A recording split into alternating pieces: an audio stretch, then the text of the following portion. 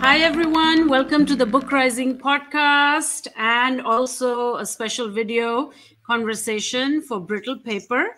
Uh, thank you so much, Margo Jefferson and Victoria Adukwei Bulley, for joining me today. Um, both of you have just won the Rathbones Folio Prize. So, huge congratulations to the both of you. That's very exciting. And we'll talk a little bit about that. and um, for those who haven't read your works, I wanted to have you both in here and talk a little bit about your books, a little bit about this unique prize and the type of uh, you know the, the type of sort of genre bending work that both of you are producing um, and i will uh, just say a little bit about the both of you and then hopefully you can give me a tiny excerpt uh, of your work so the readers who haven't read it yet are inspired and uh, will jump out and go and buy your books. All right so i'm going to start with uh, margo. So margo jefferson is a truly accomplished writer. She was a theater and book critic for Newsweek and the New York Times, and her writing has appeared in several publications, including Vogue, New York Magazine, and New Republic.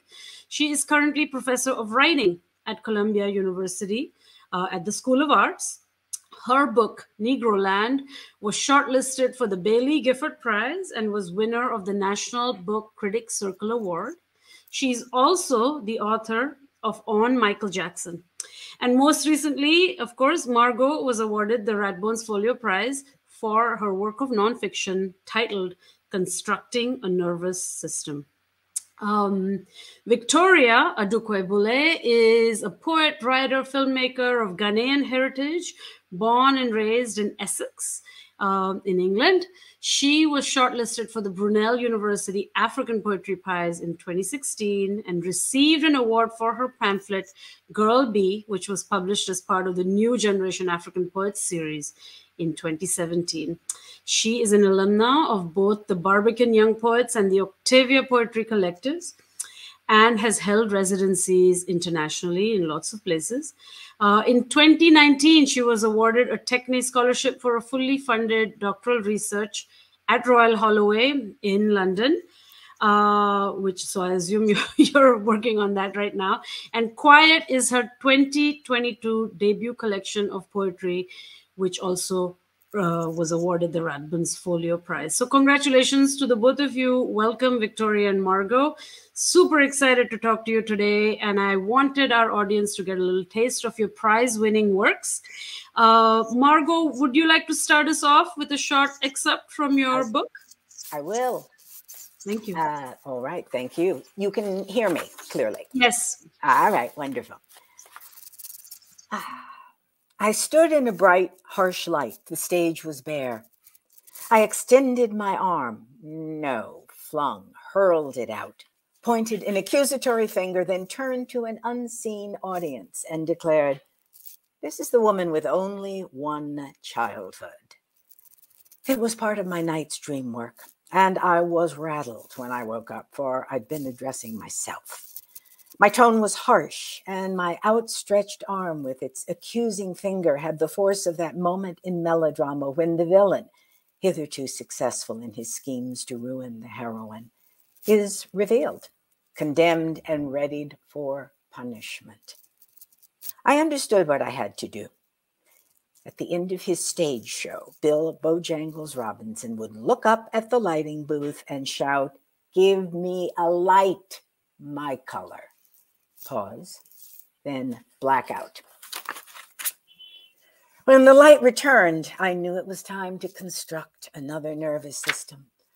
For most of my adult life, I'd felt that to become a person of complex and stirring character, a person, as I put it, of inner consequence, I must break myself into pieces, hammer, saw, chisel away at the unworthy parts, then rebuild.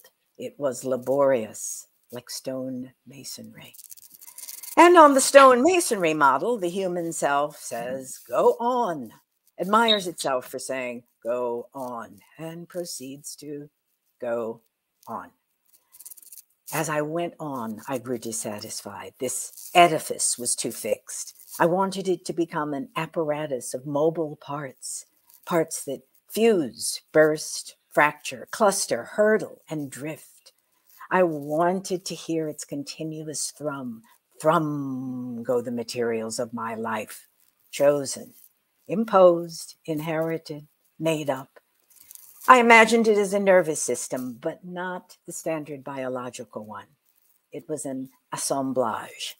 My nervous system is my structure of recombinant thoughts, memories, feelings, sensations, and words. Wow, thank you so much. That's absolutely gorgeous. Thank you. Uh, Victoria, you want to read us something? Of course. Um, I'll start with the first poem from um, the book Quiet. this poem is called Declaration. Declaration. If sickness begins in the gut, if I live in the belly of the beast, if here at the heart of empire, if careful in the house of the host, if quiet at the heart of the host, if here at the home of empire, if I live in the belly of the beast, let me beget sickness in its gut.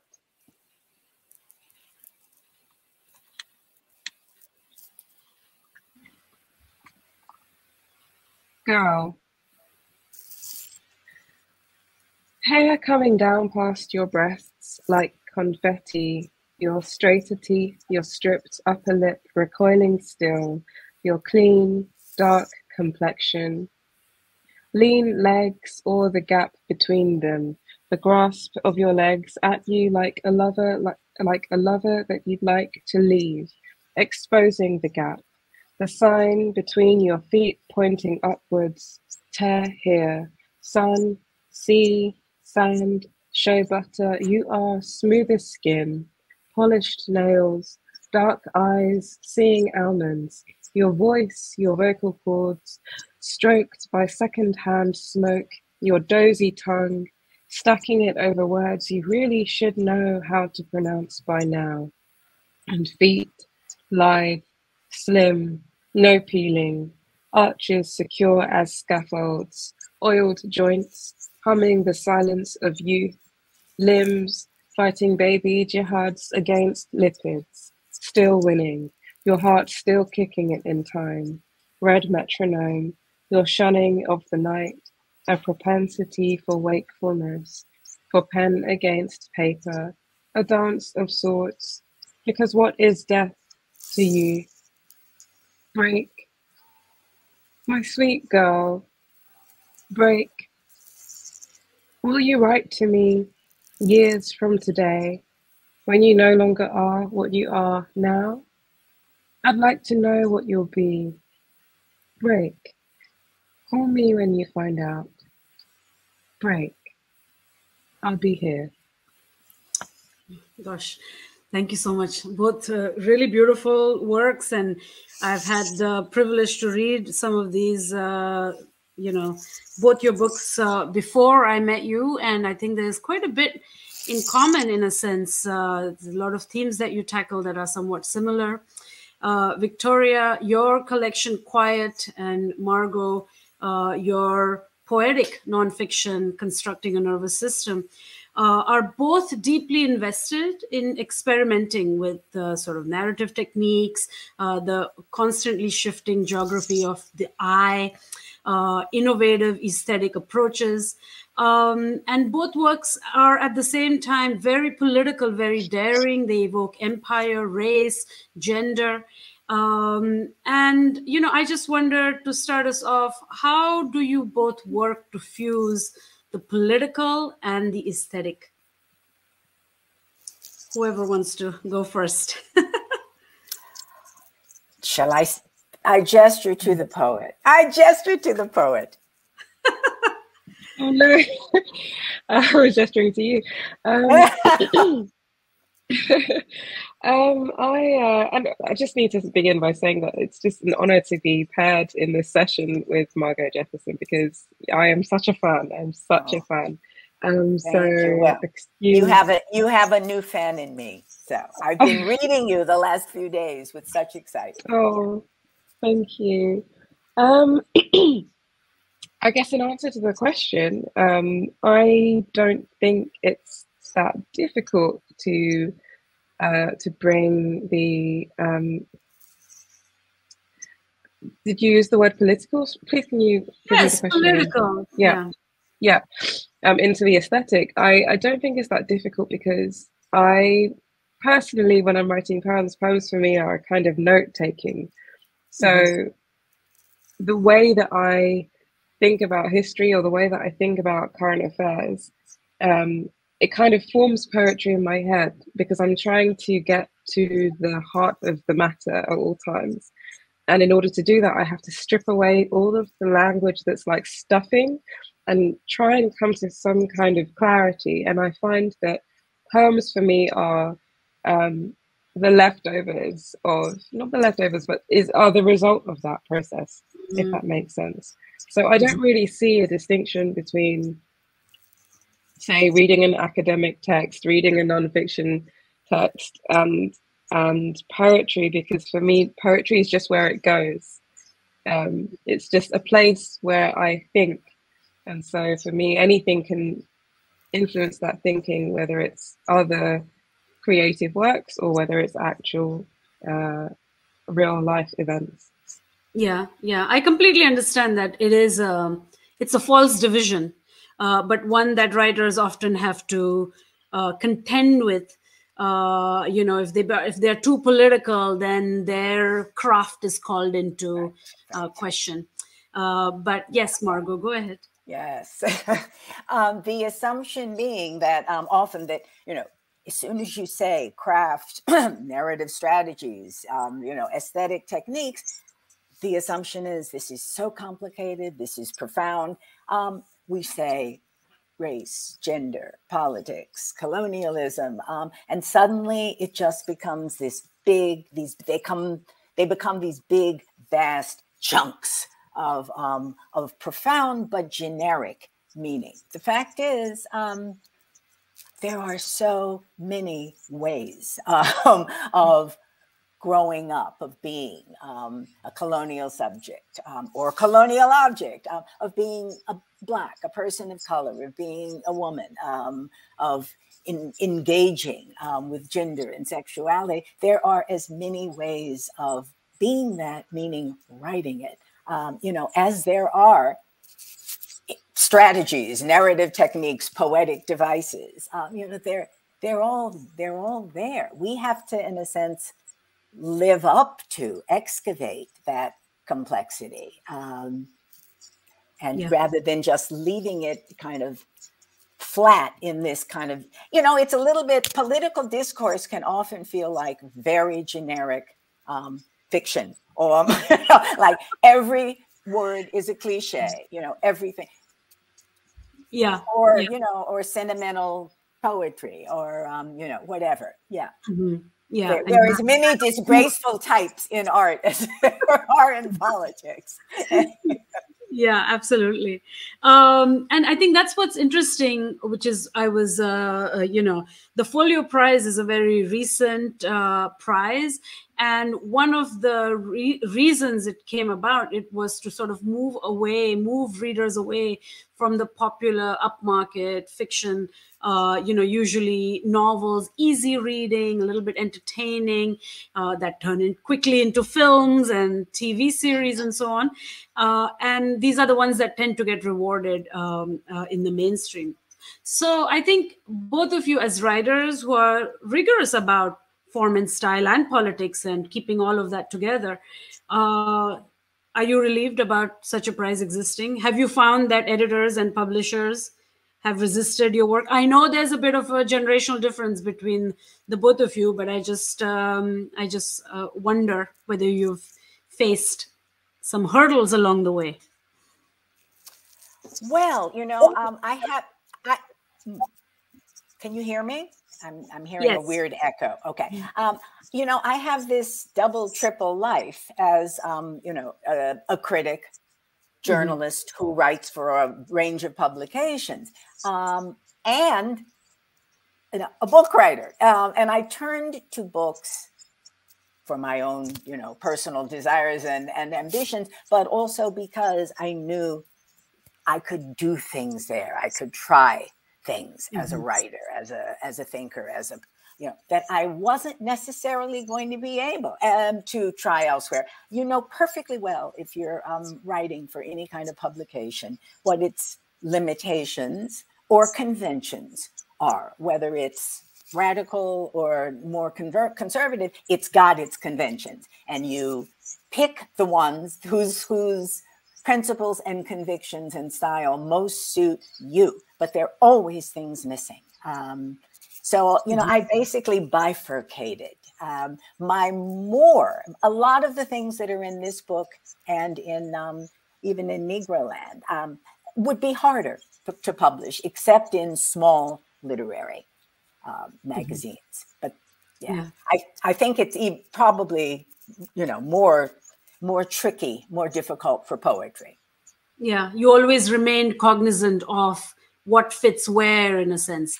I think Well, you do, um, and, and trying at the same time to keep, you know, the particularities of your voice, your attitude, whatever. But you know, it's you're always adapting registers, Mhm. which you don't have to do. Well, I didn't have to do in these books. Right. Mm-hmm.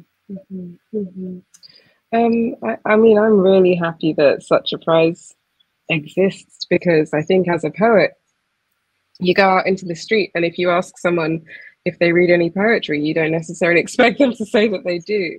Um, and funnily enough, when I was coming to the award on Monday, I guess it was just a week ago, I, I got a taxi there. And in all my years of catching taxis, this was the first time I ever had a driver that was a fan of poetry. The first time.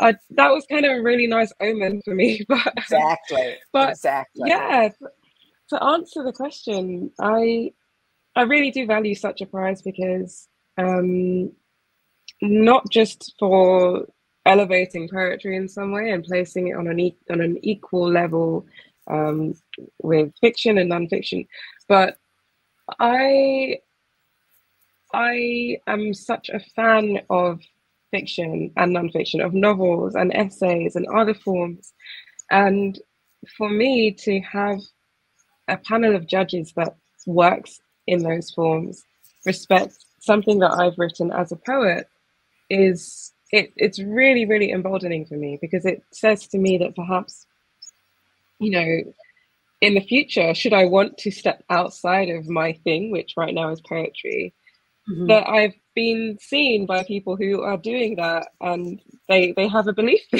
perhaps that I could do that as well. So you know even so you know perhaps that's a selfish reason for wanting a prize like this to exist but it it's it's a kind of um it's an honor that I just can't uh can't give words to. I'm so honored.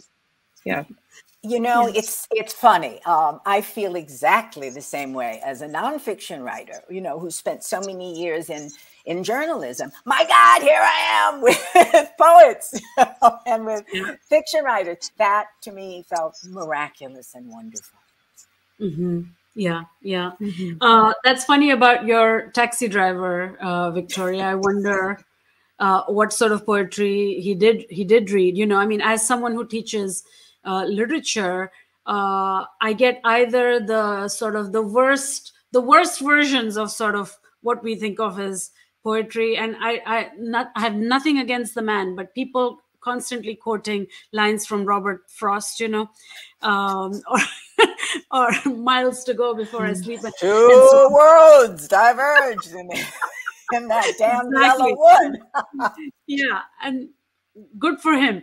But uh, or i have uh, you know students as well as adults who love to read novels and even nonfiction uh, terrified that they they they have decided that they will not understand poetry you know uh, it's a fear almost. Um, so you know so i just wondered when you both write uh, you know I, I use the word before genre bending uh, and also this kind of there's a sort of experimentation with the self uh, you know almost speculative trajectories uh, when i read your when you uh, read both your works so you know these are stunning and gorgeous but i think they're difficult so i was wondering how you're looking to challenge your readers who do you have in mind who are you writing to in a way? Hmm. I mean, I, I, I don't think too much about the reader. Um, because I worry that if I think about the reader, mm-hmm. um, it could become a very fickle situation in which what's in now is is what I'm aspiring to but I, I don't think that's a sustainable way to to have a writing practice mm. to think about the reader because the reader who is the reader you know it's just such a big word the reader um, but i when i'm writing i'm really trying to have clarity within myself about something and i trust that any reader that comes along will be able to follow me. I'm not trying to confound the reader, but I am trying to have them accompany me somewhere. And I am trying to sometimes say, trust me, like you, you will get this. Just trust me. Just give me a bit more time or think of it this way or or or, or, or luxuriate in the sound of things. I think I I think as much about meaning as I do about sound.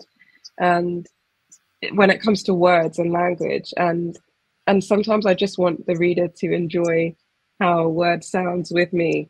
Um, so I, I, yeah, I don't think too much about the reader, but I and I think that is a service to the reader as well because I don't think the reader wants someone to be thinking, oh, what do they want? What should I do? I bet she thinks this is good. I I, I don't think the reader yeah. wants that from me. Yeah. So yeah, yeah. Some, sometimes writers and poets are fighting with some, something. Uh, so I guess I was wondering about that. But uh, also, you forgot to mention, Victoria, that your poems are so visual that there is this mm. extremely gorgeous kind of visual arrangements that go along. Uh, so yes, sound, uh, visual, and then there was a third thing which now I've forgotten. Clarity, maybe you said, or something. Yeah. yeah. But those are those ways that you lure you know readers can be yeah. they can be lured they can be really for you know x number of pages then suddenly they're kind of menaced you know mm. and yeah. they feel oh this is a little dangerous but oh i'm still having a good time you know you can you can you can play with a lot of moods i find um, mm-hmm. thinking a lot about the reader which again when you do a lot of journalism editors often ask you to. Um, it can really encourage it really can encourage forms of self-censorship you know mm. and i that's that you know I, I've, I've learned painful lessons that way. Also um you know i'm i am a black woman. Um writing in in a world that has black women black men black trans black non-binary many other you know we used to just say in america black and white. There are all sorts of other groups and peoples and identities. So if I'm really being doing justice to the complexity and the variety of one's readers or one's potential readers or one's mm-hmm. actual readers, you know, no, I I have to find a generosity and a and a scope within myself that um, that allows for that complexity. I can't 2nd guess. Um, with a with this book and with constructing, um, I, I I was very aware of how shifts of mood as well as of strategy and technique um, can, even when they disrupt a reader, um, excite. Uh, and I want. I mm. thought I'm not as I think. Um, Victoria said, I'm not trying to trick you, but I am trying to take you to spaces that maybe you hadn't thought of before. I also am trying to encourage you to let your mind um, and heart mm. and language free in those ways. Call and response, in a sense. Mm-hmm. Of course, of mm-hmm. course, absolutely. Um, yeah, no, it's it's true, and I, I take particularly like the point about self censorship when you kind of censor yourself within a certain uh, you know group of people that you're uh, you're talking to. Uh, right. But yeah, and you that, know. Uh, that can even be people you admire and and yeah. you consider your constituents. That can intimidate yeah. you. Yeah. Yeah. Mm-hmm. Absolutely. Absolutely. Um, so you know, uh, I think uh, we have seen in the past decade or so more than the usual amount of sort of uh, uh, noise or uproar or scandals even about publishing and diversity uh, in the US and the and the UK. Um, and I just wonder if you feel there are very particular challenges uh, for Black women writers uh, in the publishing world. I know a lot is changing, but a lot remains the same. Uh, where, how do you, how would you weigh in on this? Well, I would say two big challenges um, are being made into a, a, useful commodity. As soon as you're noted, you become commodified. Um, and then that sets up mm. what's not allowed, what's not chic, what's not fashionable, what um, you know, say larger white audiences might find interesting about black femaleness. Mm. Oh, but I don't find that interesting. So, and then that starts imposing um, genres and voices mm. um, on writers. So it's it's that that that sense of um, you're here in a certain way on sufferance, and the sufferance has mm. to do mm. with what excites and pleases us a kind yes. of you know, the old phrase typecasting, if you will. Um, the yes. types can change or vary, but not completely. And if they, even if they change, if the plot remains the same culturally, you're stuck. So I would say that's the main thing. Yeah, mm. yeah, I, yeah. I, I think that's such a such a, a brilliant point because I, I now that I have a book that's in the world, it's it's it's it's kind of creating a different mindset when it comes to thinking about what I'm going to write next. Because when you're writing and nobody knows who you are, it's there's a kind of freedom with that. But now that there's a book out in the world, you know, even people who, you know, like Margo said, even people who you aspire to, um, you know, impressing, you know, people, judges or other, you know, people who are um, fellow writers who are further along that journey than you, and you know, once they're on your side, you, you still feel like you don't want to disappoint anyone. You want to, you can't help but want your work to be loved. But at the same time, I think with a, a level of attention that's growing, mm-hmm. there is a self awareness that I'm now thinking, right, how am I going to navigate that to still say what I want to say um, and not the next thing that someone wants me to say. Um, yeah, to be really clear about what my priorities are and what I really mean. And um, I think one of the things that gets said about uh, sometimes about my work um, in the context of this book, Quiet, you know, I don't want it to be underread as oh, telling people to be quiet or telling people to take time and have self care.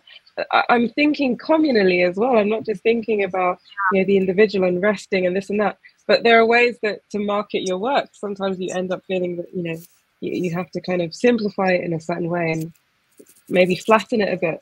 So um, yeah. yeah, I think there are challenges with being typecast and also being a commodity, as Margo mentioned. As a black woman, I think you, we encounter so much of oh, black women are going to save us, and it's just like. Mm something is being placed upon you yes to be a spokesperson right. when actually you just want to write your book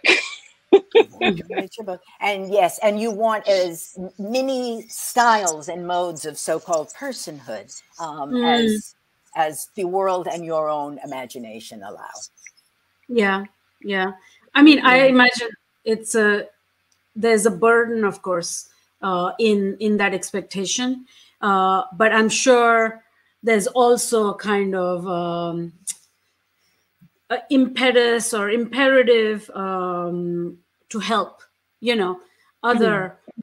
younger writers succeed, other Black women succeed and navigate publishing and so on. Do you sort of feel, uh, you know, with your success, as you become more successful, the drive to kind of towards mentorship or, um, you know, is that still needed you know or is is publishing uh, you know opening up more I just wonder. Even, even if in spaces it's opening up more, which it is, of course, mentorship is absolutely yeah. um, still needed. These are still spaces that um, Black women were not encouraged, yes. trained, you know, whatever, to navigate. Um, mm-hmm. You know, mm-hmm. I'm a I'm a second generation feminist, and you know, my generation, many of us were the first people at these publishing mm-hmm. companies, at these magazines.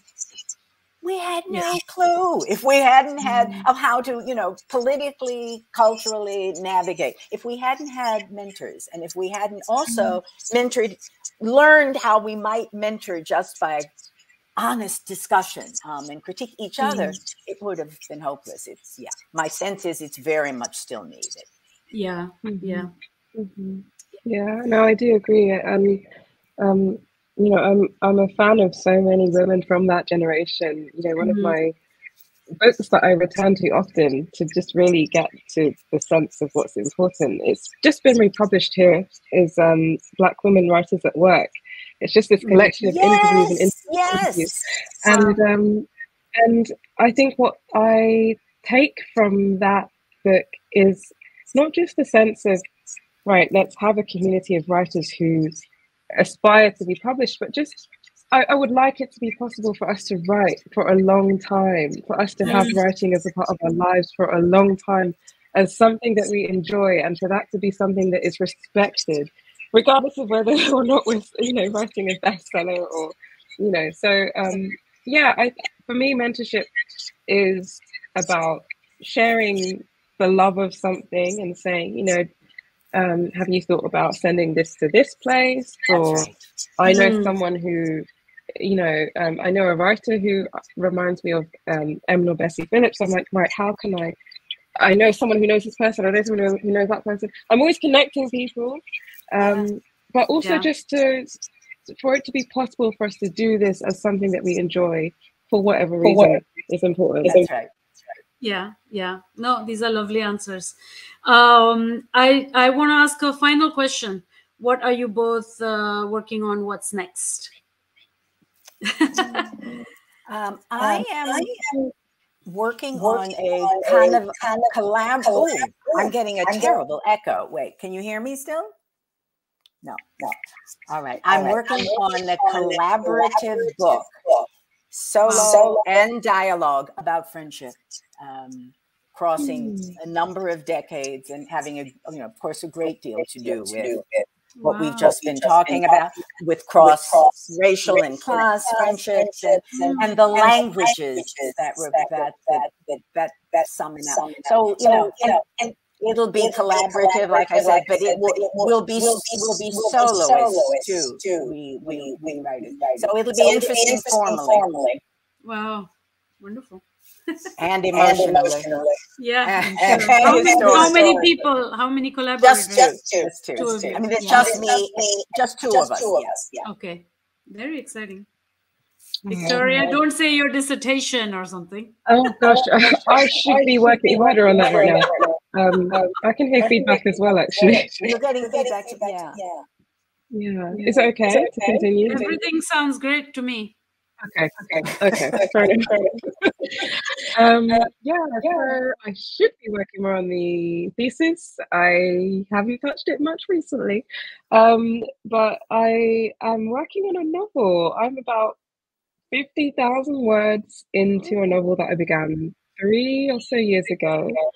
Um, the baby is taking up a lot of time right now, but, but oh. novel I think is kind of having space for the Um, he's a cute baby, by the way. It's just the, space that I go into for the novel that it, it just feels incredible. It's and it's it's me. Um, I, have never. I'm I'm new to fiction. I'm not. I I don't. I don't know what I'm doing. Um, but I just I just want to finish it. I just want to finish it, and um, yeah, see what happens next. Yeah, I have no doubt, both of you, what exciting projects. Thank you so much for joining me today. This was such a lovely conversation. Thank you. Thank, Thank you. you. It was. It was such fun. Bye to both of you. Work well. Thank enjoy you. enjoy life. Yeah. Thank you. Thank you. Goodbye.